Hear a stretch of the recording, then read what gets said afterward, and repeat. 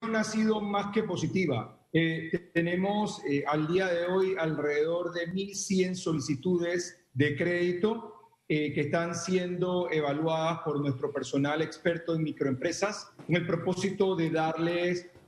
trámite a las evaluaciones de dichas facilidades para el otorgamiento de estos créditos que buscan activar o reactivar la economía a través del emprendimiento y la transformación de nuevas empresas. ¿Estos trámites de aprobación cuánto tiempo tardarían? Pues el primer trámite que debe cumplirse para poder entrar al programa de banca de oportunidades es inscribirse en el registro empresarial de AMPIME y allí ellos deben tomar una capacitación de entre 35 y 40 horas